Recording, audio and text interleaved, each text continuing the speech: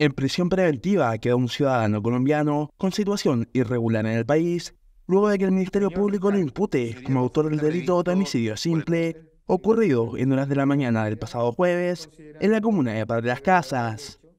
Según las declaraciones del fiscal Raúl Espinosa, en el contexto de una ingesta alcohólica, el imputado y la víctima iniciaron una violenta pelea en el jardín de la vivienda, lugar donde el ciudadano extranjero, identificado como Jonathan Betancourt, agredió a la víctima con un cuchillo, realizando cortes en diferentes partes de su cuerpo.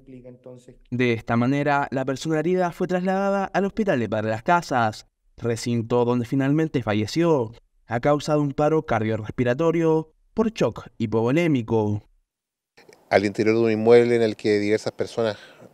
habitaban arrendando habitaciones, se produjo una situación en la que tres personas estaban ingiriendo bebidas alcohólicas y otros tipos de estupefacientes, instante en el que dos de ellas, la víctima de la investigación y el imputado, quien es un ciudadano colombiano que tiene permanencia irregular en el territorio nacional, se agredieron mutuamente, contexto en el que el imputado,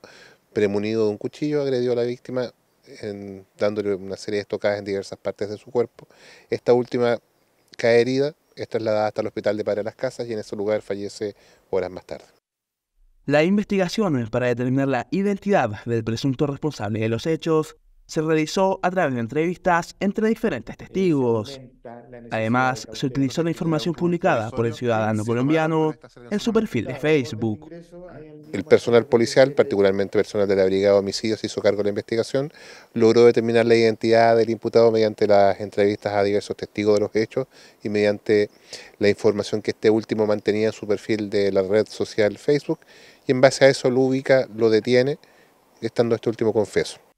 El fiscal adjunto de Temuco, Raúl Espinosa, señaló que en caso de ser condenado, el ciudadano colombiano deberá cumplir su condena en el país.